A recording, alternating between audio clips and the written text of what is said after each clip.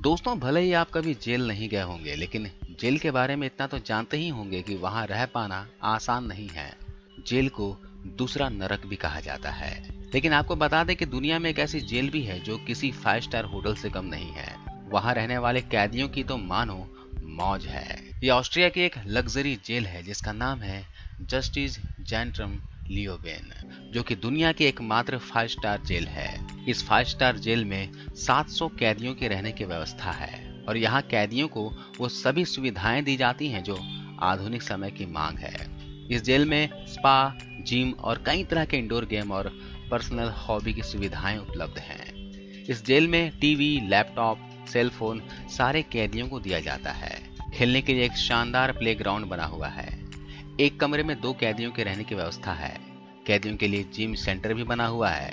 इन सब के अलावा भी कैदियों को सुख सुविधाओं के कई साधन उपलब्ध कराए जाते हैं।